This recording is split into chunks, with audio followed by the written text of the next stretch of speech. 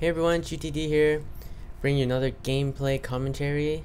But this time I am going to talk about what is happening uh, with my life right now, and what is happening with the clan right now.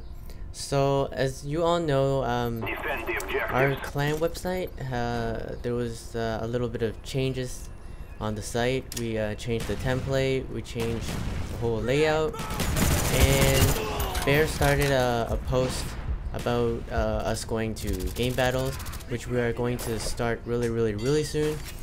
And I think that would be awesome. I will probably be on the team. I'm not sure yet because of my busy schedule. Uh, I, I am in uh, London and I actually found a job, so I'm working 9 to 5 every day now, except for weekends. So it kind of cuts into my playing games time.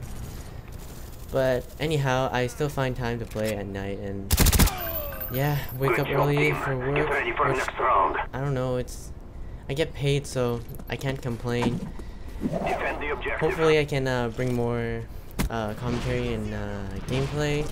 I already have uh, a lot of footage on the file share that I had to record, so I just have to stick with my schedule and start commentating on a regular basis.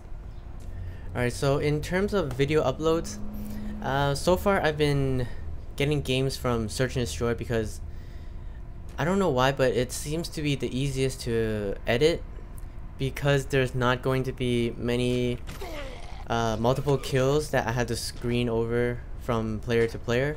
It's usually just like one one person gets a kill and then I can I can like easily locate when the next kill will be happening and I can like go to his perspective.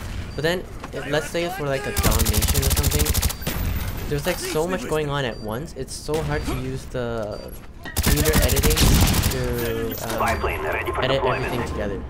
So that's why I I still haven't captured any domination or other game types.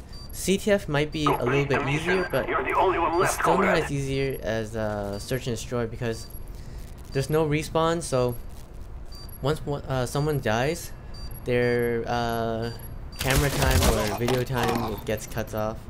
So it's mostly if uh, you get a good game, you'll most likely be on the video. And also, I I got a new game today. It was uh, released today. Call of Juarez. I don't know how to pronounce it. I'm, apparently, Puppy knows because or he knows Spanish and yeah. So I got that game and uh, I was trying it out and I think I'm going to do a live stream. Or I already have the first mission done, but I can't seem to get it onto Sony Vegas, so I might have to do the game again and record again. But I think it'll be really funny because uh, I'll be failing a lot. Well, so far I, I played the first mission and well, the game isn't too bad. In, uh, the storyline probably is going to be decent, but um, there are some aspects of the game that aren't really good. Like uh, when you're shooting, the sound of the bullets are very, very bad. It's like not realistic at all. So it kind of bugs me. But, uh, and the movement is kind of weird when you're sprinting. Other than that, so far it's okay. Uh, I wouldn't say to buy it or not buy it yet because I haven't discovered the uh, rest of the game and uh, so I'm not sure yet but I'll let you guys know if you guys should get it or not. There is an online multiplayer so we can uh, play together and record a couple games. Oh yeah, and uh, I think all of you should get freaking GT5 or Gran Turismo 5, so you guys can play with me. I have a whole, I don't know, like, like 200 cars or something, I don't know, but I have a lot of really nice mod cars, and I like to drift a lot, so I And hopefully I'll be bringing uh, a community video. Most likely, for people who already have GT5, I will be playing with them and recording a video. But uh, let's talk about the gameplay here. So,